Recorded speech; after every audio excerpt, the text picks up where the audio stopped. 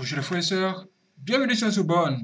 Nous sommes de retour pour de nouvelles révélations. Ce que nous entend ici, vraiment, retenez cela bien et partagez cela à tout le monde parce que le diable travaille.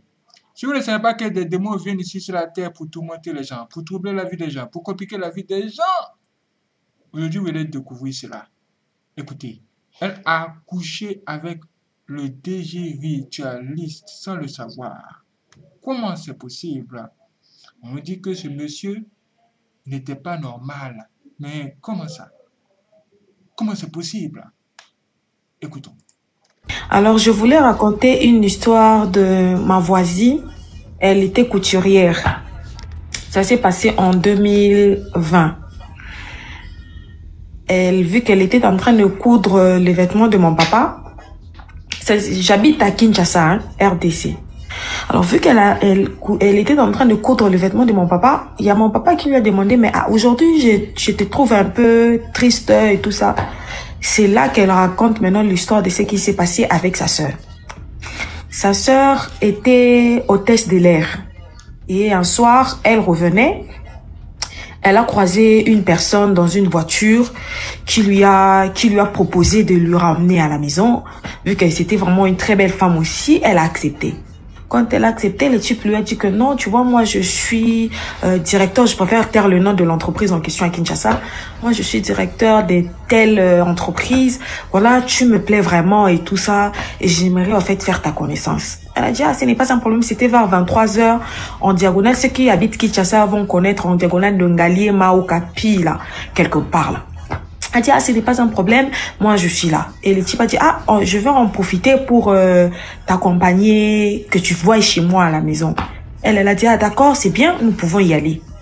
Elle est, elle est aussi allée, ils ont contourné vers le magasin et ils sont partis à la maison de monsieur qui habitait Gombe. Elle est aussi entrée là-bas et tout ça. Au lieu de rester tranquillement, elle, veut, elle a vu que la maison était seule, il n'y avait pas personne, etc.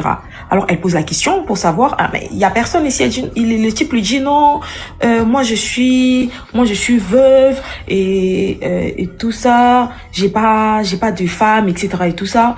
Moi vraiment tu me plais. Vu qu'elle avait vu la maison, la beauté, tout ça, ils ont couché la, la même soir en fait, le même soir pardon. Ils ont couché le même soir. Alors, il s'est fait que quand ils ont fini de coucher, le type lui remet l'enveloppe kaki. Alors, il lui donne l'enveloppe kaki, il lui dit, bon, je veux te raccompagner chez toi. Et ça, petit à petit, petit à petit, elle arrive chez elle, le type gare la voiture, elle descend. Mais quand elle descend, elle sent dans son cœur une voix lui dire, tu vas regretter ce que tu viens de faire. Bon, elle a, elle a, bon, elle a fait passer, elle a dit, bon, peut-être c'était une conscience. Le type est parti. Elle a commencé à frapper la porte vers euh, une heure, personne n'ouvrait, elle, elle a décidé de sauter le mur. Donc, elle a escaladé le mur et elle est entrée. Quand elle est entrée, elle, voit sa, soeur en question, la couturière, là. Sa soeur lui demande, ah, jusqu'à cette heure aussi, tu étais où? Oh non, euh, un peu du travail et tout ça, etc. Mais sa soeur trouve qu'elle a l'enveloppe. Sa soeur lui dit, ah, mais cette enveloppe-là, tu l'as eu où?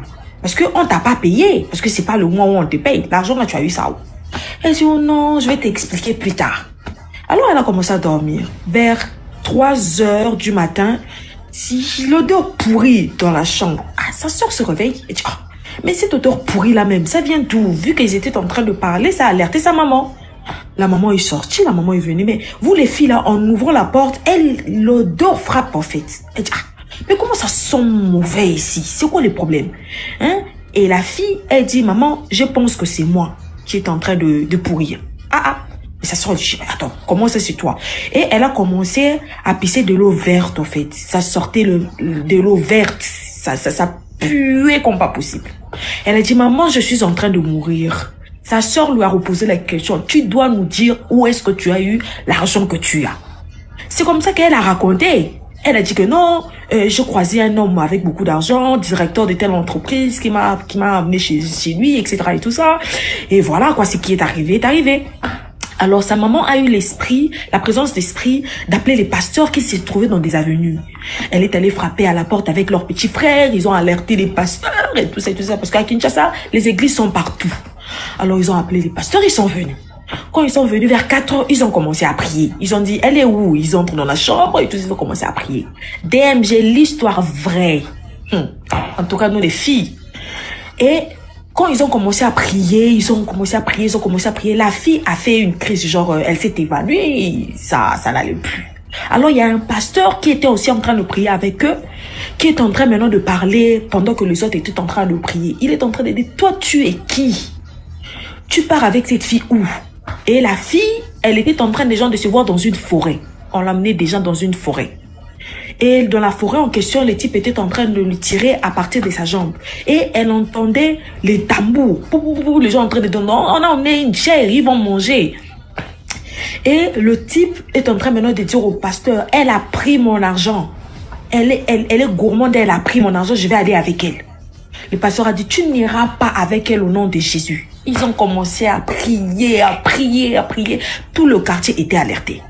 La nuit, toute la nuit, ils ont prié, ils ont prié. Et les pasteurs étaient là, ils ont dit, tu vas remettre l'esprit de cette fille, tu vas remettre l'esprit de cette fille. Alors, en fin de compte, comme Dieu est bon, elle est venue se réveiller, mais elle ne sentait plus ses jambes parce que le type avait tiré à partir de sa jambe. À 6 heures du matin, le pasteur dit, où est l'enveloppe? On montre l'enveloppe. Et heureusement pour elle, elle avait la présence d'esprit de prendre la carte de visite. Elle a pris la carte de visite. Le pasteur a dit, il faut laver la fille, nettoyer-la, et après nous irons à l'entreprise en question. Oh, d'accord. Ils ont lavé aussi la fille et tout ça. Cette soeur-là aussi a vraiment lavé la fille. Et après, ils sont montés dans la voiture, inde, inde, inde, inde, et oh, jusqu'à l'entreprise. Et c'est là qu'ils se rendent compte, ils entrent, ils demandent le monsieur en question. Oh, nous sommes à la recherche de, de tel DG. Ah, mais, c'est quel DG encore? Il n'y a pas de DG ici avec ce nom-là. Non, mais voici sa carte. Alors, dans, dans des entreprises, vu qu'il y a des gens qui ne manquent absolument pas, et ils ont dit, mais oh, attendez un peu, on va voir. Et on dit, mais, ah, mais ce type ici, il est mort, il est décédé à 10 ans. Mais comment est-ce que vous venez là, vous venez chercher cette personne ici à l'entreprise parce qu'il est déjà décédé? Mais comment ça, il est décédé? Mais, mais oui, il est déjà décédé il y a 10 ans. D'ailleurs, nous avons travaillé avec lui, c'était notre directeur. Il est mort il y a 10 ans. Nous, on est étonnés de venir euh, voir et tout. Et alors, ils ont demandé, mais où, on peut savoir où se trouve sa famille? On dit, oh non, sa famille se trouve à Massina Angeli. Alors, ceux qui, habitent à Kinshasa vont normalement savoir où euh, se trouve euh, Angeli là-bas. Alors, la famille, sans plus tarder, ils montent dans la voiture jusqu'à Angeli. Ils arrivent à Angeli, toc, toc, toc, comment vous allez, maman? hein? Mais en entrant, ils voient la photo du monsieur. La fille dit, ah, mais c'est le monsieur en question. Alors, il pose la question à sa maman qui était encore là. Sa maman dit, oh, papa Bozo Lukanan, en lingala, bon, euh, monsieur, vous cherchez qui? Euh, les, les, les, les, personnes disent que non, on est en train de chercher monsieur Intel. Oh, mais monsieur Intel, pour la, et papa. Oh, t'es, euh, il y a un problème qui s'est passé, est-ce que il a remis de l'argent à notre sœur ici présente? Alors, on est venu un peu discuter à, avec, euh, avec la fille, avec le type. Alors, la maman, il y avait des oncles, parce que c'est dans Kinshasa, la grande famille, on est toujours nombreux. Alors, euh, euh, la dame lui dit, ah, mais moi, mon fils là est déjà décédé. Mon fils est décédé il y a longtemps. Moi, je suis étonnée de voir que vous êtes la onzième personne qui est venue chercher mon, fils. Vous êtes la onzième personne. Parce que moi, je ne comprends pas. Il y a des gens qui viennent toujours les chercher ici. Que non, oh, il a donné de l'argent et tout ça, alors que mon fils est déjà décédé. Au moment où vous l'avez enterré où votre fils On l'a enterré au cimetière de Kimbanseki. Cimetière de Kimbanseki, c'est tout justement à Kinshasa. Le cimetière de Kimbanseki, est-ce que vous êtes sûr que vous pouvez reconnaître le, le dieu? Oh oui, on, vraiment on va reconnaître parce que la fille n'arrivait vraiment plus à marcher. Elle tremblait et elle pleurait. Le même soir, DMG, on peut aimer l'argent comme ça. Alors, ils se sont euh, retournés, ils ont pris, ils ont loué un taxi, ils ont pris la grande famille jusqu'à cimetière de Kimbateki. Les cimetières de jusqu'à aujourd'hui, cette histoire-là, si tu, si les Congolais partent demander à Kimbateki, c'est resté une histoire qui dépasse l'entendement des gens. Maman, euh, le cimetière, ça se trouve où? Ils ont expliqué justement là où se trouve euh, le cimetière et euh, là où ils ont enterré leur fils. Alors, ils ont commencé à prier. Il y avait des pasteurs et tout ça. Ils ont pris l'enveloppe, ils ont pris la carte, ils ont déposé. Ils ont commencé à prier, ils ont commencé à prier. Alors, il y a un pasteur qui a pris la présence d'esprit. Il a dit, nous sommes en train de sceller euh, le tombeau ici. Encore toi, tu reviens à chaque fois. Et que c'est la onzième fois que toi, tu es revenu pour détruire la vie des enfants de gens. Cette fois-ci, tu ne reviendras plus jamais. Que ce soit en forme humaine, que ce soit en forme animale, que ce soit dans n'importe quelle forme, toi, tu ne vas plus revenir. C'est fini pour toi. Ils ont commencé à prier, ils ont pris l'huile d'onction, ils ont jeté DMG. Les gens de Kimbantek, ils ont dit le cimetière a commencé à trembler. Ça a commencé à trembler, tout, tout, tout, tout, tout, tout, tout, tout, tout, les tombeaux du type. Ça a tremblé. Et l'enveloppe qu'ils ont mis au-dessus, parce qu'il y avait des chégués qui habitaient des départs et autres, ils ont fouillé les lieux. Parce que c'était, ça dépassait l'entendement. Ils ont fui. Ils ont dit ça, c'est de la sorcellerie. Ils ont fui. Alors, le cimetière a commencé à trembler. L'enveloppe qu'on a déposée sur le tombeau du type a disparu. Comme ça, poids, ça a disparu. Et ils ont pris le fil rouge, ils ont fermé, ils ont scellé avec le sang de Jésus, et puis ils sont retournés. Alors, quand ils sont retournés, ils ont dit à la fille, il faut plus jamais faire ça parce que toi, au moins, c'est la grâce de Dieu. Dieu, au moins, t'a fait grâce. Toi, tu es la onzième, dix personnes devant toi sont mortes. Mais toi, tu as quand même eu la grâce de Dieu. Et voilà. Alors, la dame, elle était tellement dépassée que elle, elle savait pas quoi dire. Et c'est comme ça qu'elle a commencé à parler à mon papa. Maintenant, vu que mon papa aussi sait que moi, j'aime bien ce genre de vie-là, et il a commencé maintenant à me taquiner par rapport à l'histoire. Il a dit, tu as entendu l'histoire de la dame d'à côté qui est en train de raconter comment est-ce que sa soeur a failli mourir. J'ai dit, oh non, je n'ai pas entendu. C'est comme ça que mon papa est en train de raconter parce que c'est la soeur elle-même qui a vécu ça, qui a parlé. Et sa soeur a commencé à passer dans des églises pour commencer à donner des témoignages. Voilà ce qui m'est arrivé. Il faut vraiment pas aimer l'argent. Et les gens ont dit, toi, le même jour, le même jour même, on peut aimer l'argent comme ça. Le même jour, tu trouves quelqu'un, tu pars chez lui et puis tu mougou avec la personne et il te donne de l'argent calmement et puis tu rentres avec. On peut mettre l'argent jusqu'à tu, tu, escales, tu escalades le mur et tu es normal. On peut mettre l'argent comme ça. Donc depuis lors, la sœur, elle est devenue sœur en Christ. Elle commence à prêcher en route. Moi, je, je me suis toujours dit, si elle, si, si elle n'avait pas vécu cette histoire-là, je pense même pas que Jésus allait être son ami. Ou. Je pense qu'elle allait continuer avec sa vie de gourmandise là. C'est parce qu'elle a failli mourir qu'elle s'est dit, bon, aïe, encore vu, j'ai failli mourir là, je pense que je dois changer ma vie.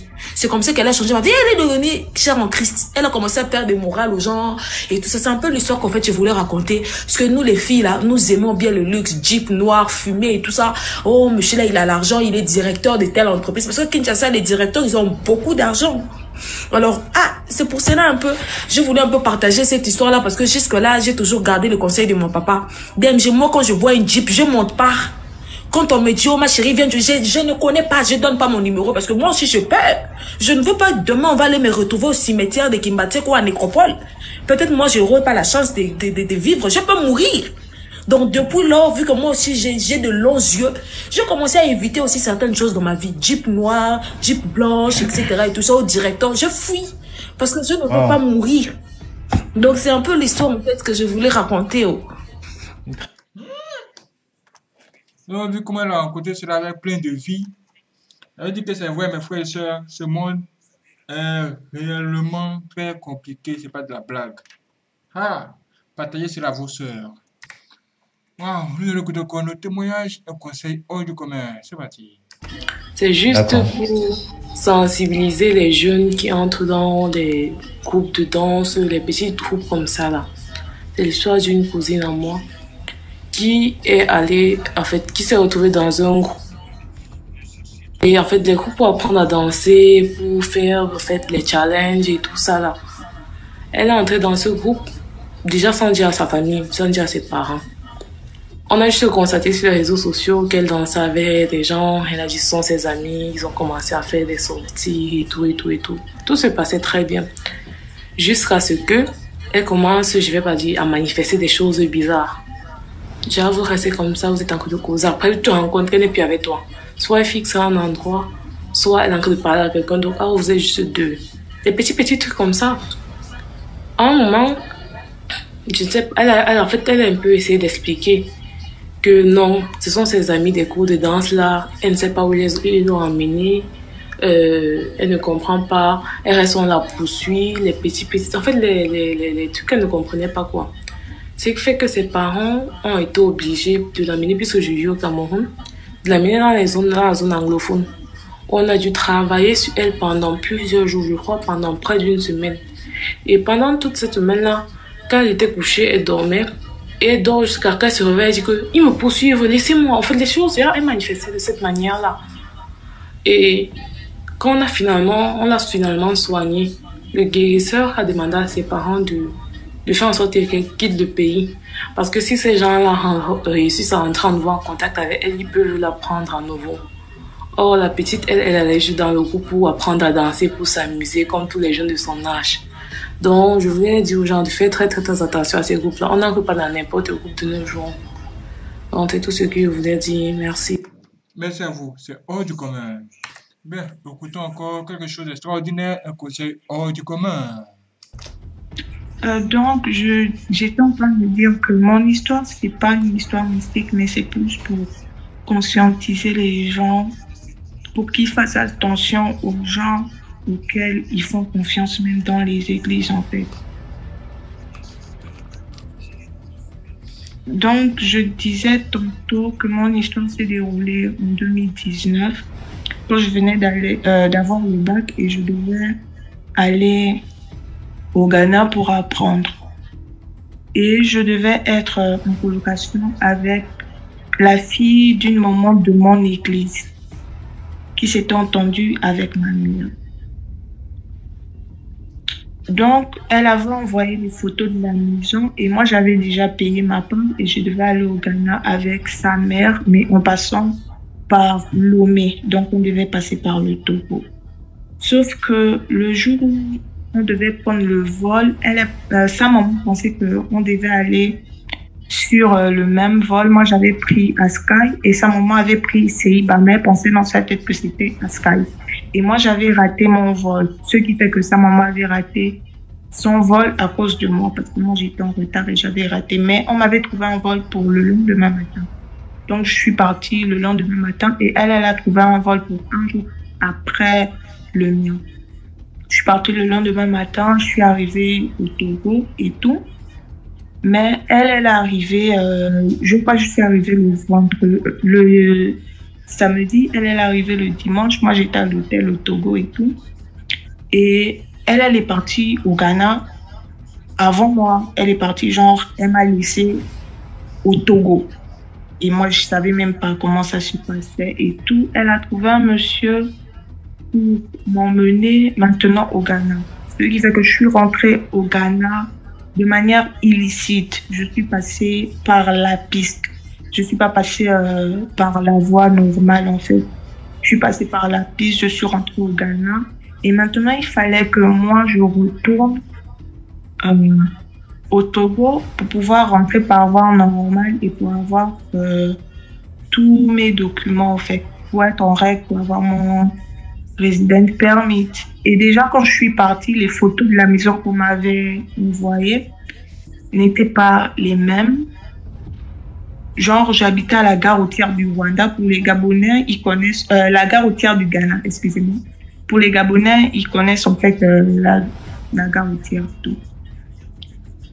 La maison, elle était dans un état vraiment délabré. J'ai pris sur moi, j'ai pas dit à ma mère parce que je voulais pas encore embêter mes parents et tout.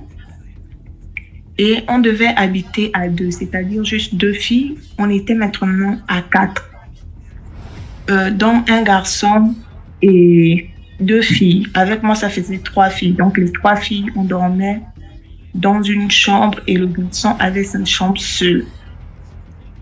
Donc, en arrivant on est arrivé tout, j'ai digéré tout, tout, tout. Ça s'est passé comme ça s'est passé. Maintenant, on devait rentrer. Moi, je devais aller au Togo avec la maman, vu que la maman de ma devait voyager aussi. Elle retournait sur le Gabon, en fait. Donc, on est parti. On nous a arrêtés à la frontière du Ghana et du Togo. On était en garde à vue parce que moi, j'avais pas, j'avais mon passeport, mais j'avais pas en fait, euh, comment on appelle le resident permit. Et Nul n'était l'intervention de Dieu. Je vous jure que je suis rentrée au Togo par la plage. Je suis passée par la plage pour rentrer dans le territoire togolais. Je suis partie, on m'a refusé le visa. Quand je suis arrivée au Togo, j'étais à l'hôtel et tout, les autres sont remontés. J'essaie un peu de couper parce que sinon ça va être un peu long. Parce que dans ce, dans la traversée, quand on a traversé pour euh, le Ghana, on est passé par la plage en fait, vu qu'on nous avait arrêtés et puis les policiers là-bas, ils voulaient en fait nous accompagner jusqu'à la maison vu qu'ils nous avaient demandé notre passeport. Les autres, elles avaient leur résident permis et moi, je n'avais pas. Donc, on a menti qu'il y avait personne chez nous et tout. On a commencé à pleurer quand on était en garde à vue là-bas. Ils nous ont laissé partir. Mais en partant, ils pensaient qu'on retournait sur Accra alors qu'en passant, en fait, euh, je ne sais pas comment expliquer, mais par la plage, c'est reliant, en fait. Par la plage pour entrer dans le territoire togolais. Parce que j'avais pas mes papiers. Et j'avais pas dit ça à mes parents. Mes parents, au Gabon, ils pensaient que moi, j'étais rentrée de manière normale, en fait. Moi, j'avais fait ça pour couvrir la dame de l'église en question, pour ne pas qu'elle ait des problèmes et tout. Et j'étais encore petite, j'étais encore naïf, donc j'avais pris ça sur moi. Je me disais que c'était quelque chose que je pouvais supporter en fait. Donc la dame aussi m'avait demandé de ne pas dire à mes parents et tout parce que sinon ils devaient s'énerver et ça devait faire un gros problème en fait. Donc moi je suis rentrée, on est parti par la plage, on est parti le soir à l'hôtel et le soir même on avait volé le passeport d'une de mes colocataires. On a dû encore payer pour, euh, pour récupérer son passeport et tout. Quand moi je pars maintenant au Togo, on me refuse le visa pour rentrer au Ghana. Là encore, je ne dis pas à mes parents. Je dis juste à ma mère qu'il manquait l'argent et tout. Elle a complété, elle a envoyé l'argent. Je suis rentrée par voie normale. Et finalement, même avec mes colocataires, ça s'est très mal passé à la fin parce que à un moment donné, je pouvais plus prendre sur moi en fait tout ce que j'ai vécu à cause d'eux, je pouvais plus prendre sur moi et tout. Donc j'ai quitté le Ghana, je suis allée maintenant, je suis retournée au Gabon. Juste pour dire aux gens que souvent, faites attention, même si vous rencontrez les gens dans l'église, et vous pensez que vous pouvez en fait cohabiter avec eux, ce n'est pas souvent ça. Et aux enfants, souvent, quand vous avez des problèmes, essayez toujours de parler à vos parents, même si c'est une autre personne qui vous dit, ne dis pas à tes parents, ça peut causer ça, ou bien tu vois la santé de ta mère. Peu importe ce que vous vivez à l'étranger, essayez toujours de parler à vos parents. Parce que moi, personne dans ma famille ne savait que je suis rentrée au Ghana de manière d'abord illicite, alors que je devais passer par voie normale à cause des gens à qui ma mère faisait confiance. C'était ça mon histoire. Ok, merci beaucoup pour l'histoire. Incroyable, mais vrai. Bien, nous allons écouter encore une autre femme qui va nous parler de ceux qui aiment manger dehors. C'est pour sensibiliser un peu pour ceux qui aiment trop manger dehors là. Voilà. Une jeune dame qui m'a expliqué son histoire, elle, elle ne mange, elle n'aimait pas manger chez les gens, mais elle s'est fait une copine comme ça dans les rues. Et après ça, bon, la copine venait lui rendre visite à chaque fois, voilà. Et les deux ont sympathisé comme ça. Donc, à chaque fois, sa camarade lui dit, bon, souvent on est tout ensemble, mais tu viens jamais chez moi. Quand tu viens chez moi, pardon, quand je te donne de l'eau, tu bois pas. Quand je te donne la nourriture, tu manges pas. Pourquoi? Elle dit non, il n'y a rien. Bon, peut-être qu'en ce moment, j'ai pas faim. Elle dit, ah d'accord, il n'y a pas de souci. Demain, je voulais qu'on partage un repas ensemble. Donc, sa copine insistait à chaque fois. Bon, ça, ça tombait aussi que en ce moment, elle n'a pas faim. Et un jour, la dame dit qu'elle dort. Donc, la dame dit que sa copine, là, à chaque fois, elle lui disait, voilà, je vais voir sa copine qui lui dit, bon, copine, aujourd'hui, moi, je veux qu'on on partage quelque chose. hein. Et elle, comme elle aime beaucoup manger la nourriture bouillante, là, voilà, sa camarade a fait un bon, un bon plat. Et elle lui a dit aujourd'hui, je veux qu'on partage ensemble. Elle a dit, mais comment tu as su que c'est mon repas préféré? Elle dit, non, j'ai fait ça comme ça, moi aussi j'aime ça. Donc bon, dans la causerie, là, elles ont commencé à partager le repas. Elles ont mangé ensemble, elles ont rigolé, c'est fini. La dame, maintenant, quand elle dort, ah, elle se retrouve dans les réunions, hein, dans les réunions même des villages qu'elle connaît même pas. Et à chaque fois, c'est comme ça. Chaque fois, c'est comme ça. Elle dit, Ah, je comprends pas. Hein. C'est quelle histoire de dormir et puis bon. Parfois, je suis dans les villages. Souvent, je suis au bord de l'eau. Souvent, je comprends rien. Qu'est-ce qui se passe? Et puis, elle dit quand elle dort comme ça, là, quand elle se réveille, c'est comme si elle vivait la, la réalité. Parfois, on la poursuit. Parfois, on lui donne un repas. Elle refuse de manger. Et quand elle se lève, soit ses mains sont mouillées physiquement. euh, ou bien elle est essoufflée comme si quelqu'un l'a poursuivie et tout ça. Mais qu'est-ce qui se passe? Je comprends pas. Et j'ai fait le constat depuis que j'ai mangé le repas de la dame là, ça ne va pas. Et elle dit pendant un mois, deux mois, troisième mois, elle dit non, je comprends pas cette histoire-là. Il fallait que je voie quelque chose. Donc, euh, elle aussi, son côté, elle, elle va pas à la prière. Et elle est rentrée dans son bois sacré, aller voir quelqu'un pour dire, je comprends pas quand je dors, soit je suis euh, à la rivière, au bord d'une rivière, ou au bord d'un marigot, soit dans des coins, on me poursuit, je suis toujours essoufflé, je comprends pas. Et le monsieur lui a dit, bon, c'est très simple. La fois dernière, tu as partagé le repas avec qui? Il y avait, Elle dit, il y avait une de mes copines. Ah, ta copine là, elle veut te mettre dans quelque chose que ton âme refuse en fait. Donc, essaie de communiquer avec elle. Dis-lui que tu pourras pas, voilà, elle va te donner l'antidote. Ah, mais si, antidote de quoi? Qu'est-ce qui se passe aujourd'hui Je veux que tu me dises. Je dis non, va, va, va expliquer ça comme ça, tu verras. Dis d'accord. Le lendemain, elle part chez sa copine. Sa copine dit Tu es venu chercher quoi? Elle dit Ah, copine, je suis venue te saluer. Elle dit Non, non, non, ce que tu es venu chercher la faute. Sache que je n'ai pas la solution à ça. Pourquoi toi, ton âme est due comme ça? Hein?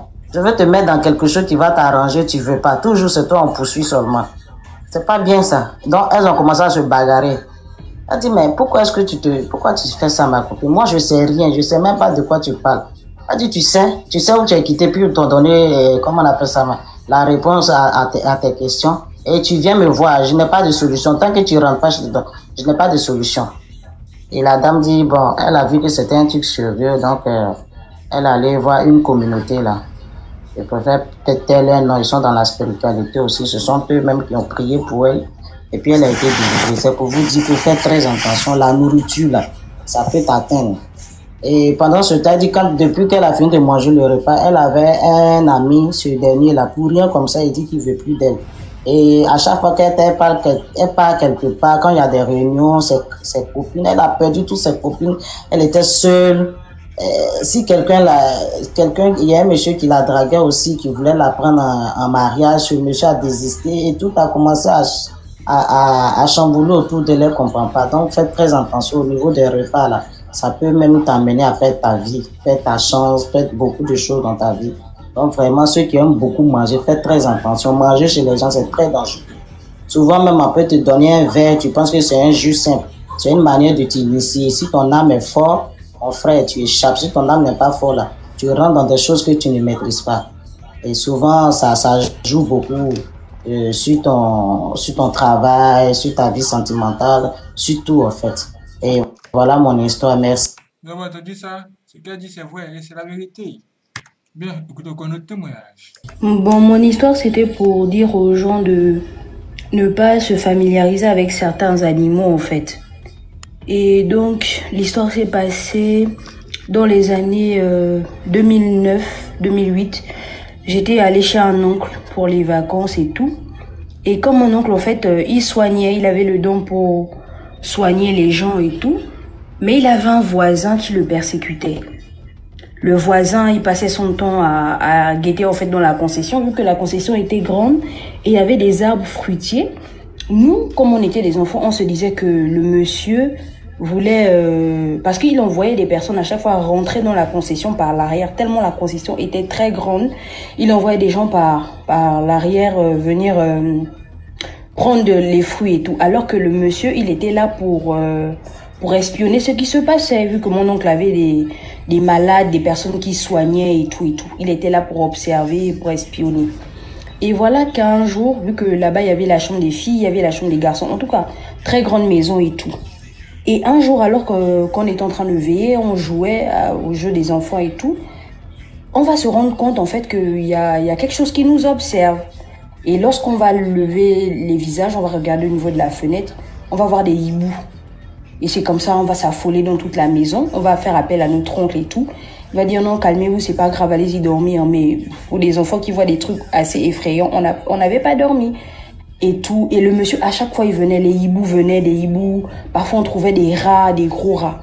Mon oncle est allé chez le monsieur, il a dit au monsieur, arrête de venir chez moi. Le monsieur dit que non, c'est pas moi, machin et tout, c'est pas moi, c'est pas moi. Et c'est comme ça le soir, euh, un jour dans la soirée, mon oncle a veillé. Il a veillé là et tout. C'est comme ça qu'il a tué un hibou et un rat. Il a pris les deux, il les a directement mis dans le congélateur. Quand il les a tués, il a mis dans le congélateur. Le matin, on a entendu chez les voisins comment ils pleuraient. Ils étaient en train de pleurer là-bas. Quelqu'un est mort, machin. C'est comme ça, les enfants du monsieur sont descendus, venus taper à notre concession. Vous avez tué notre père et tout, et tout, et tout. Mon oncle a fait comme s'il il savait rien. Mais de vous parler de quoi, machin? Oh, mon oncle avait, euh, mon père, euh, les enfants disent, oh non, notre papa avait son hibou, machin et tout. Ah, donc c'est lui qui se transforme en hibou pour venir effrayer mes enfants. Oh non, c'est vous qui avez tué notre père et tout et tout. C'est comme ça. Il a dit de toutes les façons, j'ai déjà tué les bestioles. Donc le rat, c'était aussi un de ses acolytes. Lui-même, le monsieur étant hibou, et le rat était un, un, une personne en fait, de son gang. Et c'est comme ça, il a, euh, par la suite, ils ont fini de faire le, le vacarme, le vrai vacarme et tout. Euh, mon oncle a pris euh, les, les bestioles, il les a brûlées. Et c'est à partir de ce jour-là, il nous a dit, il y a des animaux avec lesquels il ne faut pas se, se familiariser. Vous voyez souvent des cafards, des musaraignes, ce sont souvent des espions. Ça dépend de ce que vous avez dans votre maison. Voici pourquoi il est important pour certaines personnes de connaître leurs valeurs spirituelles. Quand vous savez ce que vous valez spirituellement, il y a des choses que vous ne pouvez pas accepter de laisser rentrer dans vos maisons. Souvent, faut observer, il y a des vagues quand vous avez des projets, euh, vous avez des choses en fait en vue. Vous allez voir souvent il y a l'afflux de, de bestioles dans la maison, souvent des fourmis. Il y a des types de fourmis même, des cafards, des musaraignes, des souris et tout. Donc en gros, c'était un peu ça. C'était ça mon histoire. Waouh, c'est extraordinaire. Merci les frères de regarder cette vidéo.